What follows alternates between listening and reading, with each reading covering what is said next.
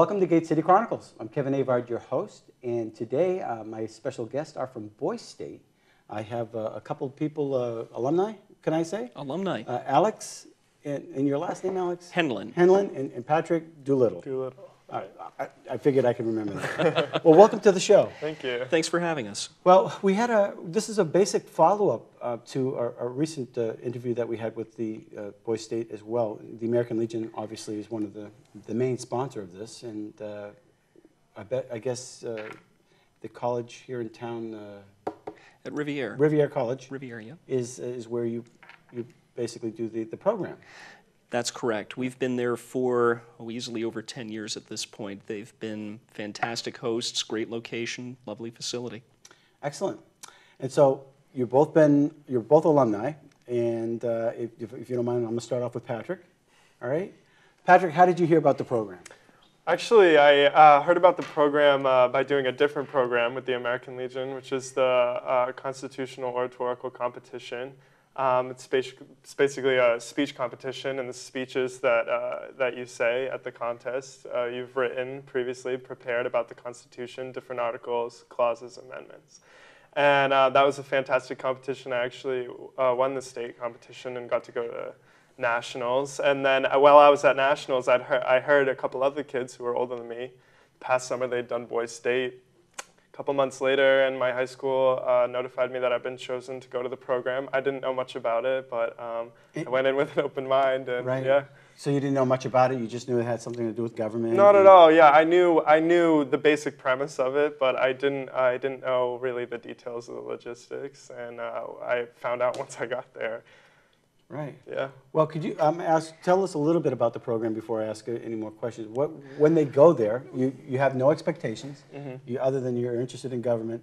Then all of a sudden you walk at, you walk into Rivier College and Well, it's, it's an advanced seminar in civics. Um, I should stress at the outset there is a corresponding Girl State program that Right. the American Legion Auxiliary runs. So all of my comments, although geared to Boys State that I'm familiar with, there is a counterpart um, that, that should be brought in mind. But put very simply, it's a week of practical and theoretical instruction. Um, we bring in uh, political party speakers, people who talk about municipal government, mayors, uh, state representatives. We bring in the governor, and they talk about how city, town, party, and state government in New Hampshire works from the ground up, and then the students proceed to build it. And uh, they run their campaigns, they build their state, they get the state that they want and that they're committed to being a part of. how do they go about building that? do they all elect officers or, or how, how- I mean, you got raw material. Here's, how many people usually go?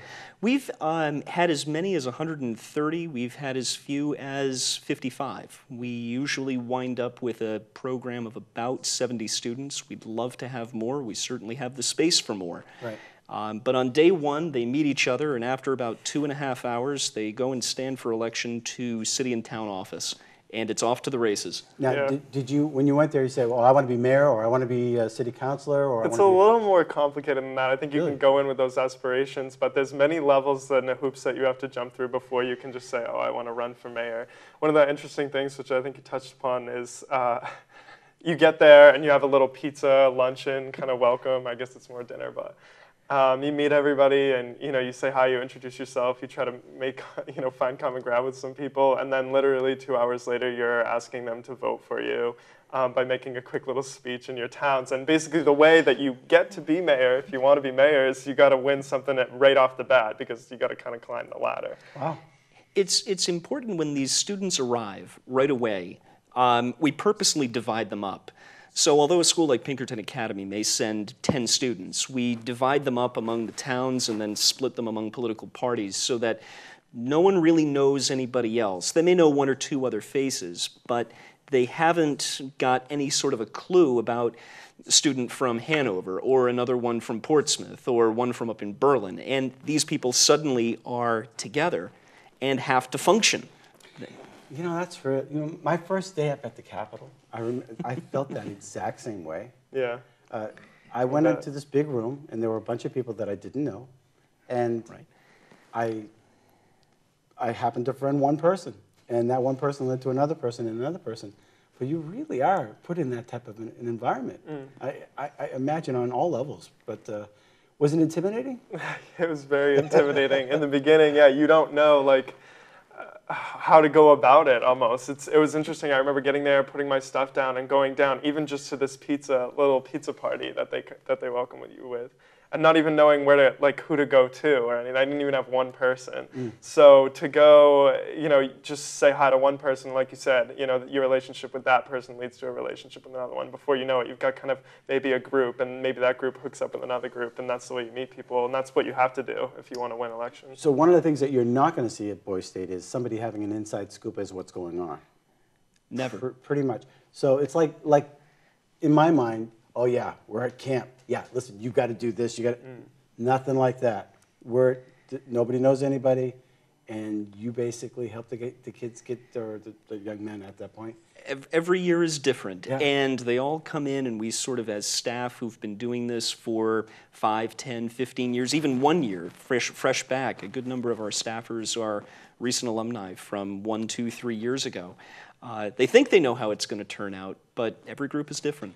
What was the impetus for this whole program? Why, why did this come about?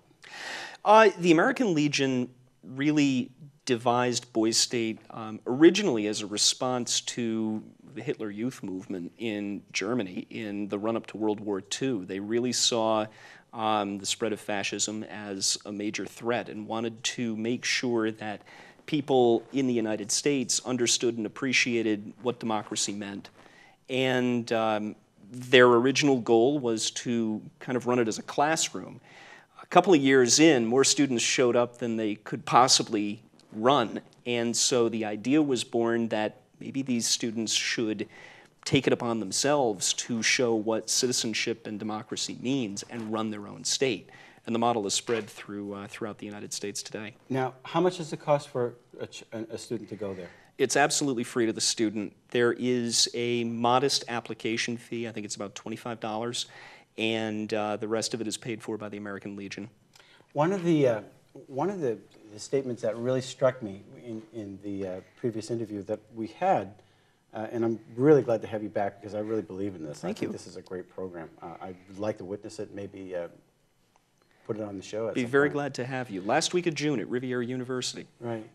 Well, one of the things that we, what struck me was a statement that said that these boys go in as boys and they leave as men within a week's period of time. How can you qualify a statement like that? I think that that statement is 100% accurate. Um, mostly because when you when you go in, uh, everybody kind of comes in with their own political bias, especially in the really heated poli- political climate that we have today. You know, everyone really associates with one kind of ideology, and anybody who associates with the other one or a different one is just well, they don't understand. You know what I mean? And you do. There are a lot of kids that come in with that, and they you know, you come out having respect for people who you don't necessarily agree with, people with different backgrounds when, uh, than you. And, uh, and I think that respect is a huge part of manhood, respect especially of maybe people that you don't understand or that you don't agree with 100% on. And to me, that's what that statement means. Tell me a little bit about the negotiating that you had to do while you were there. For instance, uh, there would be a particular bill. Uh, wa- was it Democrat, Republican, Independents, uh, Libertarians, or was it uh, a fictitious name? It, it- it's a fictitious name. We try to divorce um, modern day biases from the parties that we build. So uh, the students, when they come in, are assigned to political parties to teach them how the, the system works. Uh, the past couple of years, we've used nationalists and federalists just Oh. as names that we give. that works. Um, wow. Yeah, and then wh- the, everybody in the party gets together and you actually have to fight and come up with a, a party platform. You really have to negotiate and you have to figure out what it is that you want your party's ideology to be. And this is really difficult because you have kids in one party from you know Democrat, Republican, you know the real parties that we have in this country right now. So you have to your platform has to consist of things that you can agree on. You kind of have to um, compromise just to form a platform that you're all going to run on. So or the candidates from your party are going to run on. Now, when you went through the com- compromise, Mm-hmm. did, did you feel like after a while, you, you know, my gosh, did I just sell my soul or to, to, to get to a certain soul point? Uh, at what point does integrity and compromise have to, have to balance each other? I think that there's integrity in compromise. So I think that maybe some of the maybe integrity that you feel is lost. Maybe your ideas weren't 100% taken. Maybe what you want is maybe what's there is not 100% what you want. But I think that there is integrity in in just the idea of compromise and the act of compromising with someone. Nobody's asking you to compromise your political principles or maybe just your principles as a, as a person they just want you to find some common ground. There's common ground everywhere. We are, we do, after all, all want the same things for this country. We just don't believe And how that get there. right that there's one way to go about them, or, or that you know one way is wrong, one way is right. You see what I'm saying? So Well, not to put you on the spot, but you, you, you were, uh, you know, you, you wrote about the Constitution, you had a speech about the Mm-hmm, Constitution. Was that part of the platform to di- discuss in, in, in, in making your party platform? again, I think this was another area where we disagree. You got a lot of kids who believe that you have to have a broad interpretation of the Constitution, and then you have a lot of kids that believe that a strict interpretation of the Constitution is the only thing that can work for this country. And so everything in the platform obviously has to be constitutional, so it has to be brought up. And it's the most important document in the history of this country, obviously. So it does have a presence, but at the same time, there are some things that you just have to, you know, put aside, and you have to you have to look for that common ground, and that common ground necessarily, you know, isn't always found um, in places where you formally disagree. How do you moderate such discussions? Or do you, where do you, you just say, do this, and how, how do you get in, interject with uh, a final outcome? Usually, what you wind up doing, I mean, just the Boys State is divided half and half. You get about 35, 40, 16, and 17 year olds trying to come up with how a party works. What do they stand for? What do they believe? And you can get up in the beginning and sort of say, here are the ground rules, listen to everybody, uh, majority vote. Maybe you want to have a two thirds vote if it's something you think is important. Um, say, here's how the process generally works. Now play it out. Um, and and usually staff doesn't involve themselves because this is the student's creation. There's a level of moderation if it starts to you know really get passionate and, and vigorous, but um, it really is what the boys create. So in the process of creating, there's an end game. What is that end game? For instance, you, you've created a government. Uh, you got elected or selected because you sponsored a particular bill. Mm-hmm. You had to fight for that bill. Right. Did you win? Did I, I actually, this is something interesting. My bill passed at Boys Nation and did not pass at Boys State. So even on the bigger kind of level, I think uh, All politics is local, man. Yeah, I think uh, I think one thing that was shocking to me, and I think this is very much true in actual government, is um, practicality and just logistically trying to get your bill out onto the floor and trying to convince people just to hear what your bill is all about. There are too many bills, really. Everyone comes with a bill, not everyone gets heard. That's just a reality. You, they try to break us up into little groups so that all can be heard, but I actually think it's better that not all are heard because that's a reality. Not every bill is going to have its chance. You know what I mean? So when we're in these little groups, you got to work with everyone else to say, "Hey guys, like, can we maybe designate this amount of time at the end, just so you guys can hear the premise of my bill?" And you mm-hmm. have to. Eh, it's all about working with people, convincing people just to maybe hear you out is an obstacle. But again, you learn so much from once you surmount that obstacle, or at least in trying to surmount that obstacle, that it's worth it and it's rewarding in the end. I think in New Hampshire, every bill that is submitted actually has to be heard. Does it really? It, it does. You know, one of the things that the program constantly tries to do, it's why we're here in New Hampshire. It's different from what they do in Massachusetts, it's different from what they do in Missouri. Um, this is a program that is designed to reflect and introduce New Hampshire to ourselves. Students come in and sort of have a parochial sense of this is Bedford, and I know Bedford, and it's really good. Well, have you thought about this, this, and this, which is Nashua needs a important to. Hampstead, or Nashua needs a railroad station, or Plaistow doesn't want a relay, or Manchester has this issue, and, and suddenly you have to listen and talk. And New Hampshire has uh, a House of Representatives of 400 people, and not everyone's going to get heard to as much as they might like, but what can they do?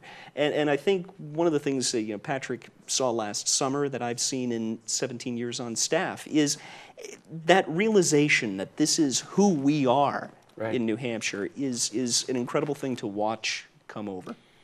I- can't imagine the public schools being able to do this uh, with, with the way that you folks do this. So th- this has got to be quite the learning experience for you. It's it's very it's a very different experience. It's nothing like you've ever experienced before because it's it's basically an intensive simulation of how things actually are. And I think maybe in ways that in ways that aren't even apparent or that can't even be explained in a pamphlet. You know what I mean? Yeah, I, I would, I would wonder how the dynamics would change after you've done a week with the boys club and girls did, the, or boy, boys state and the girls did bo- girls state, and then you mix the crowd.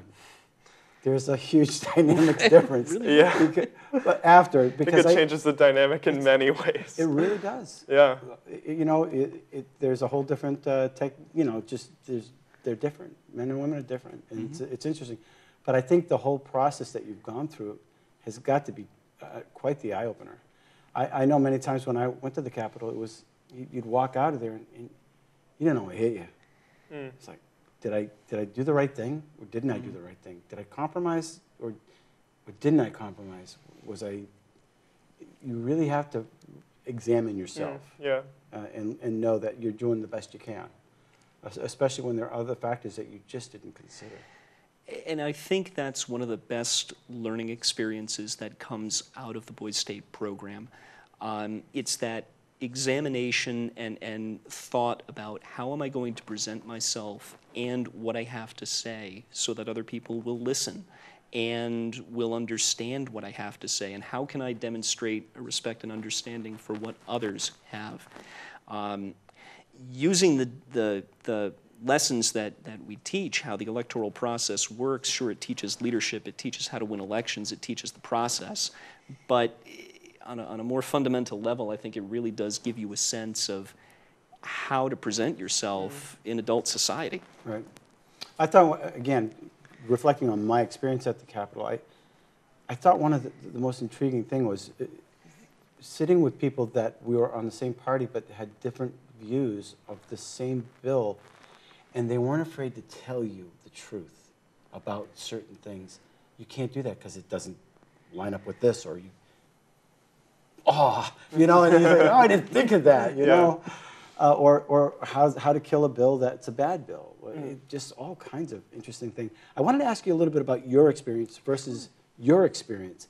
You, you're an alumni. You, you ha- have, have it, has it evolved? Has it changed? You know, I went through the program in the summer of 1996 and uh, served as the Speaker of our Model House of Representatives. It's, the process hasn't changed a whole lot. Um, the issues that come up sure are different. Right. Uh, in the mid 90s, we were more interested in motor voter or uh, some sort of graduated licensing scheme that was then new and different. Uh, it's, it's, the issue sets that get brought up by, by the students that I see today are different from the ones that I would have been concerned about at that age. But uh, we, had, we had a rather lengthy debate last summer about municipal land use law and uh, zoning, uh, which, Yeah. which was just not something that I think a lot of students in my age bracket uh, in, in the mid 90s would have thought. But as the program evolved, um, the basic structure remains, but how it is used and how it propagates, uh, it, it's different every year. It's really neat to see. What were some of the topics that uh, you struggled with? Um, how do you mean struggled? If you're in the legislature, you're struggling with Um, something. I think what were, what were the, the, the hot, uh, heated debates? I think the heated debates were the ones, the most heated debates were the ones that people know the most about already coming in. I learned so much when I went to Boys State. I learned so much about different things going on around the state and different proposals that, like, I don't follow New Hampshire political news as much as I follow, you know, The national. yeah. the national political news. You know what I mean? So I learned so much. Like I learned about the Northern Pass, about all the different things like that. And you know, to me, that was more of a learning experience. Experience where you bring in something that maybe is, you know, under under state's control, but is a, currently a very public, publicized debate in the national political arena, like gay marriage or like. Um, some kind of uh, legislation, green legislation, going green, things like that. People, people know how to talk about those things. People know the issue, and then it, it can become heated. But at the same time, you you're you are learning that respect. You're learning how to deal with people who disagree with you. So it never gets to the point where it's out of control. You never need moderation. To me, one of the key aspects of this whole program was that the counselors are not really involved. It's really on you. And hmm. people, you know, you got to control yourself and you have to control the group. Do you recommend this to everybody? I think, yeah, I would give it a a ringing question, endorsement. Uh, Yeah. It really has, um, I think, changed. Not necessarily changed. I think I still wanted to go in this direction, but just solidified everything that you know I want to do, and actually everything, or you know, the majority of things that I that I know about myself and how I deal with other people. So I would certainly recommend it. So what kind of vocation do you think you want to go into? Um, well, next year I'm going to college to basically go pre-law. I want to go to law school. I want to get involved in all this. This is this program really showed me not only that I'm interested in this, but that I can do it if I want to, and that I can, you know, pass a bill or negotiate with people who disagree with me if I put my mind to it. So I feel like it prepared me for, you know, where I'm headed. And Alex, you're an attorney I am. I'm in private practice in Boston. in Boston, and, and this had an influence, obviously. This was a transformative event. Um, you know, we, we put it on our papers, and, and sometimes people laugh at it, and we call it the week that shapes a lifetime. But it really is, and it does. Uh, students from four years ago write me, they're, they're seniors at Holy Cross or at Yale, and they said, this, this changed my life. This really set me on a path to thinking about public service as uh, something that I should be involved in. Um, and, and I will say, as part of giving back to the community, this is far and away the best thing that I do outside of the office Absolutely. and my family. My wife will tell me if I don't put that in. You heard that. Hi, Mom. Do you want to say hi to anybody? Just, Hi, mom. there you go. There you go. Uh, well, that's, that's fantastic. I, I, I, again, when I heard about this program, I think I heard it from uh, another former state rep. And I never heard of this. This is a great idea. This is, and it's simple, and, and the price is right, and it's local, and it really helps people get an understanding. One of the things that, uh, I'll close with this, but one of the things that, that troubles me that if you see what's going on and you just back away, then the people that you probably disagree with were going to be in charge of your life. Mm. That's why it's important for people to get involved with their local zoning board, planning board, alderman, city councilor. Otherwise, the people that you don't agree with are going to take the reins. The message we send is that everyone has a role to play, Yep. and you can make a difference by being involved. Right. It's, it's How do people get in touch with the, with, with the Boy State? We have a website, nhboysstate.org. You can call the American Legion Department headquarters in Concord. They'll be happy to send you um, uh, an application packet. Every high school principal and guidance counselor in the state has been sent materials, and uh, our program is the last week of June, starting on the 23rd at Rivier University here in Nashua. So any, any student that wants to get involved, they, they need to go to the principal's office or the guidance counselor and say, listen, I saw this show, or my, your parents, uh, I, I'd like to see what this is all about. Absolutely. Now, there is a, a benefit for doing the program at Rivier College, from what I understand.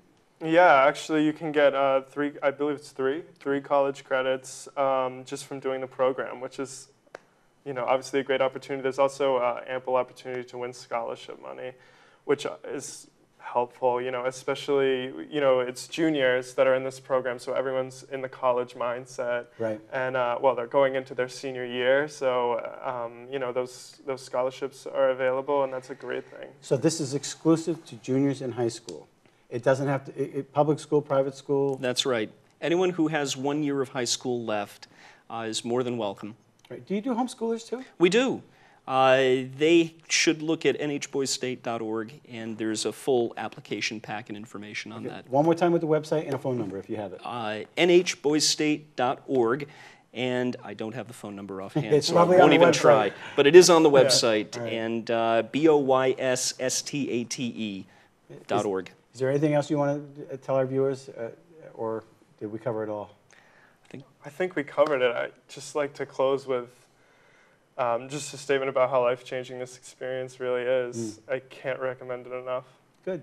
Well, I want to thank you both for coming on the show. Thanks for having us. All right, and uh, best Thank wishes, and and I hope we, uh, we flood it this year, right? Absolutely. Okay. Well, thank you for watching Gate City Chronicles. Uh, we're- really recommend this program, and we hope that if you have a junior in high school, you know, look, look for uh, the application in, in your school. So until next week, thanks for watching.